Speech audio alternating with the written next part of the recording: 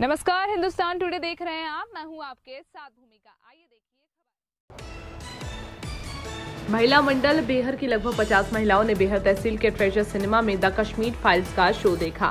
14 मार्च 2022 दिन सोमवार को ट्रेजर सिनेमा का अस्सी प्रतिशत हॉल महिला मंडल की महिलाओं से ही भरा था।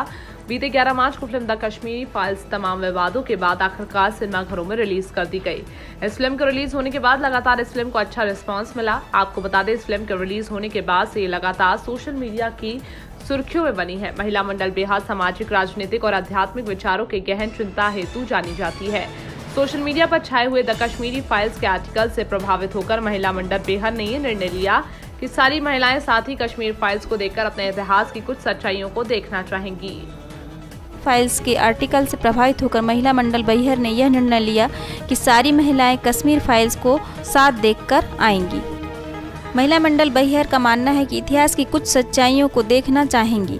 फ़िल्म का विषय ही इतना यथार्थ और वास्तविक बताया गया कि अनेक महिलाएँ थिएटर में ही रो पड़ी और कुछ महिलाएँ फ़िल्म देखकर भावुक हो गईं। इस अवसर पर महिला मंडल की श्रीमती गौरी मिश्रा, श्रीमती विजया उपाध्याय, श्रीमती प्रतिमा प्यासी, श्रीमती मुक्ता गर्ग, श्रीमती रेखा शर्मा, कुमारी, कीर्ति शुक्ला, श्रीमती किरण मिश्रा, श्रीमती कंचन पांडे एवं अन्य समाज की महिलाएँ उपस्थित रहीं।